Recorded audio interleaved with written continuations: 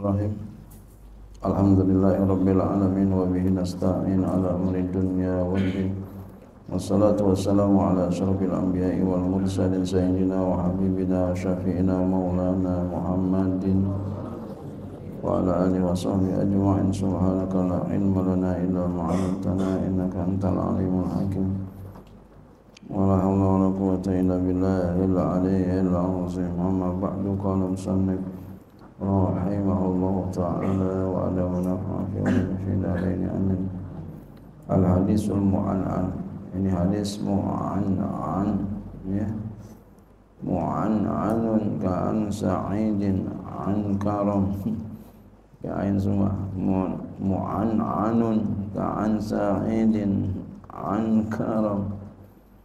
حديث معن عن itu seperti dari Said dari Karam jadi pakai an an an an gitu. An an an. Nanti ada an an an ada pakai hamzah. Kalian pakai ain. Nanti ada juga yang pakai an an pakai hamzah. Mu'an anun mu'an anun bi fatil ain dengan fathah ain. Fil pada lugha adalah ismu maf'ulin isim maf'ul min an bermakna qala dengan mana qala dengan makna qala an an berkata ia an an ya dari si fulan dari si fulan dari si fulan dari si fulan itu namanya mu'an'an. Wastilahan secara istilah huwal hadisul ladzi yaqulu bi rawin wahidun min ruwatihi au aksaru min fulanin an fulanin dia adalah hadis yang berkata pada hadis itu oleh seorang perawi dari beberapa perawi atau lebih dari sipulan dari sipulan dari sipulan dari sipulan dari sipulan Qala Ibnu Salah berkata oleh Ibnu Salah al isnadul mu'an'anu huwa alladhi yuqalu bihi an fulanin an fulanin. Isnad mu'an'an itulah yang dikatakan padanya dari fulan dari fulan Waqtasara muallif bil misal li dan membatasi oleh muallif dengan misal ya dengan misal. Jadi beliau batasi dengan misal definisinya. Karena ta'rifnya kenapa? Li anna ta'rifa bil misali jaizun. Karena ta'rif dengan misal boleh. Ya jadi ta'rif dengan misal boleh. Definisi ya, dengan misal boleh Izil maqsudu bi ta'rifi huwa ida'ul mu'arrafi wal misalu qad yugni anil hadi.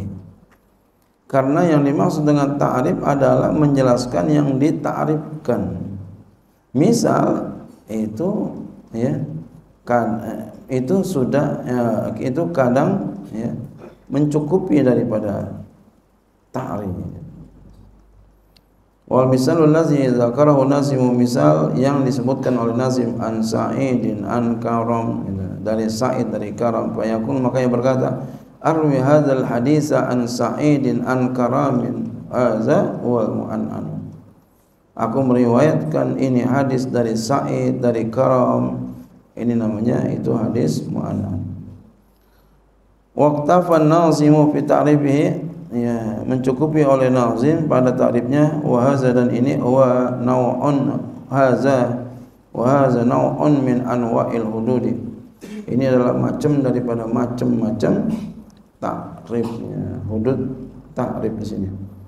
Wa huwa bayanul adli bil misal allazi zakarahu nazim. Itu adalah penjelasan takrif dengan misal yang disebutkan oleh nazim wa huwa nau'un ma'rufun dia adalah macam yang diketahui. Yaksuru minhu ahlul ilmi bil manzumati banyak daripadanya oleh ahli ilmu pada segala yang dinazamkan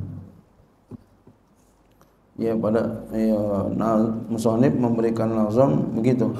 Nah, memberikan definisi di nazam-nazamnya begitu. Pakai misal. Banyak katanya dan itu boleh. Wa haqiqatul isyarati hakikat isyarat fi qaulin nazimi pada perkataan nazim ilal khilaf pada khilaf mas'alati sumutil ittisalil liman istakhdama lafzata ya an minar ruwati fi adail hadisi an ghairihi. Hakikat isyarat pada perkataan lazim kepada khilaf pada masalah tetap nyambung bagi orang yang menggunakan lafaz an daripada para perawi fi ada il hadisi an ghairi di dalam menunaikan hadis daripada yang lainnya. Ya. Wal i'tiraz min at-tadlisi dan menjaga daripada tadlis. Wal masyhuru dan yang masyhur anna mazhab al imam al bukhari bahwasanya mazhab imam bukhari wa man ayyadahu dan orang yang menguatkan dia annal ittisal bahwasanya nyambung la yasbutu tidaklah tetap illa bi syartaini kecuali dengan syarat dengan dua syarat. Awalan ya as-salamatu minat tadlis selamat daripada tadlis hadisnya. Tadlis oh, ya. Eh, nanti kita akan kaji tadlis ya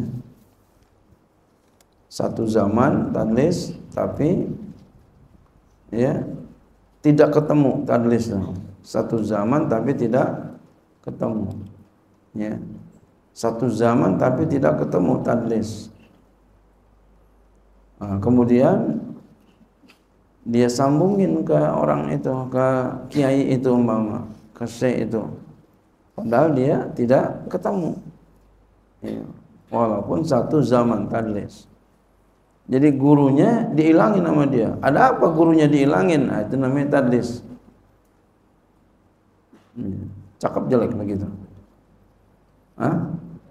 jelek ya.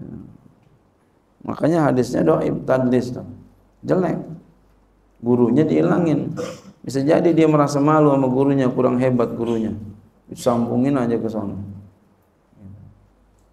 Ya kamu satu kamu? Ya.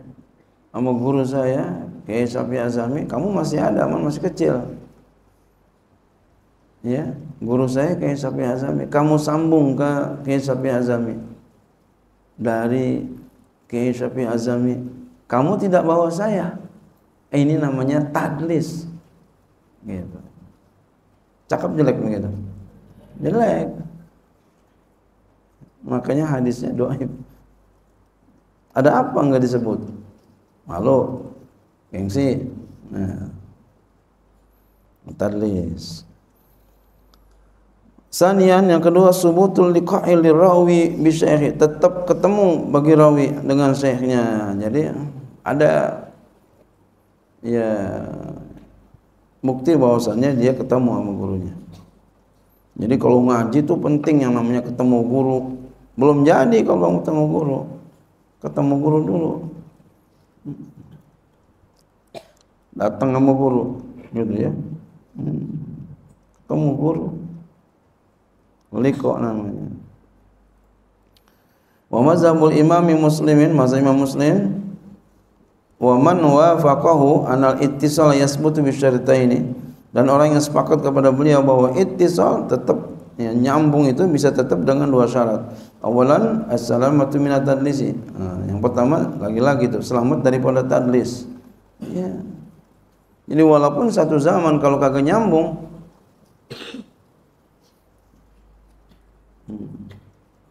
kalau nggak nyambung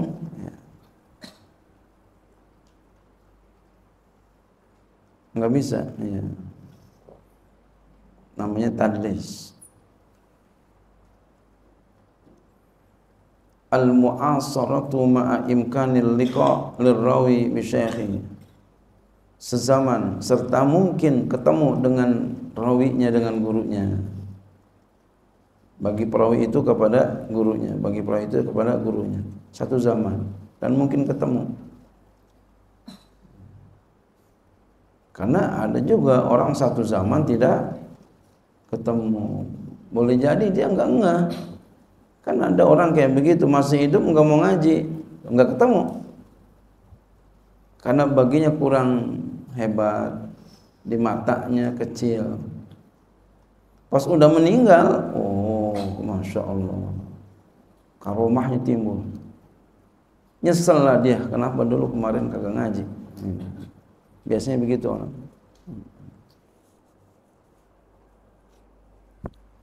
Karomahnya timbul, kitabnya banyak, karangannya banyak. Oh, Masya Allah. Ternyata,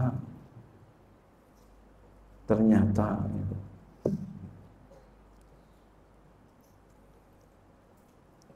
Ma'a adami wujudi ma yadullu ala intifa'i sima'i minhu. Boleh simak, boleh sama. Serta tidak ada sesuatu yang menunjuki atas ternape mendengar darinya.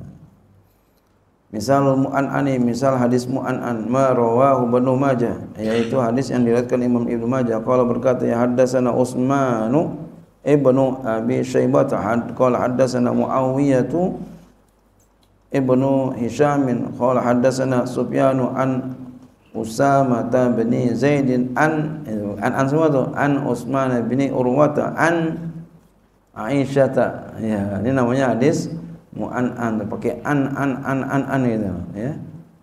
Qalat baru berkata ya qala Rasulullah bersabda Rasulullah sallallahu ya innallaha wa malaikatahu yusalluna ala mayaminis sufufi. Sesungguhnya Allah dan para malaikatnya memberikan salawat kepada sop-sop yang kanan. Jadi kita sop yang kanan itu yang paling utama Ya tapi jangan juga kanan semua, kiri kagak dan jumplang. Ya. Makanya biar duluan. Wa hunaka nau'un akharu misluhu wa huwal an anu ah, ini pakai hamzah kalau ini. Di sini di sana ada macam yang lain. yang sepertinya seperti pakai ain. Itulah yang mu'an-an pakai hamzah wa huwa ma ruwiya bilafzi an yaitulah apa yang diriwayatkan dengan lafaz an. Kalau tadi kan pakai hamzah pakai ain tadi. Mu'an anun ka'an sa'idin an karam gitu ya. Kalau ini pakai hamzah misalnya seperti ayyakula dia berkata hadasani fulanun anna fulanan qala anna fulanan qala ilqa itu ila akhirih. Bahwa ia berkata telah bercita kepadaku oleh fulan. Bahwa si fulan berkata bahwa si fulan berkata ya. Wa hukmul mu'an'ani wal mu'an'ani wa wal mu'an'ani ya. Jadi pakai ain pakai hamzah. Hukum hadis mu'an'an dan mu'an'an huwal ittisalu. Itu nyambung hadis ittisal itu belum tentu sahih. Ya. hadis ittisal belum tentu sahih. Nyambung sih tapi perawinya hmm, macam-macam itu ya. Jadi hadis ittisal itu ada sahih ada dhaif ada hasan illa mimman urifa bitadlisi kecuali daripada orang yang diketahui dengan tadlisnya. Nah, kalau tadlis berarti putus. Fa innahu la yuhkamu bittisalihi illa ba'da ay yusarraha bis sima'i bi mawdi'in akhar. Maka sesungguhnya dia tidak dihukumi mutasilnya itu yang tadlis kecuali setelah dijelaskan dengan mendengarnya pada tempat yang lain. Ada pendukung yang lain hadis yang lain Ya. Jadi sesungguhnya dia mendengar ya. Itu hadis mu'an an mu'an an. Wallahu a'lam.